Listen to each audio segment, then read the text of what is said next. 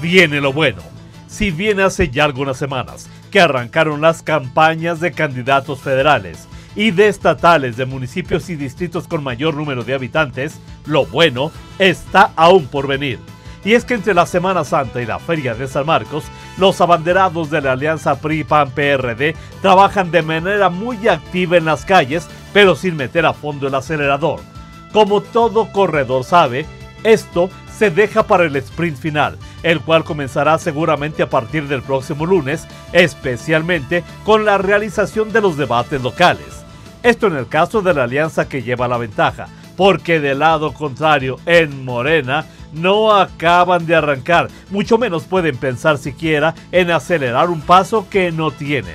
No se les ve estrategia, tienen nula presencia, se la pasan quéjese y quéjese y quéjese y agrediendo a todo el que no le sigue la corriente.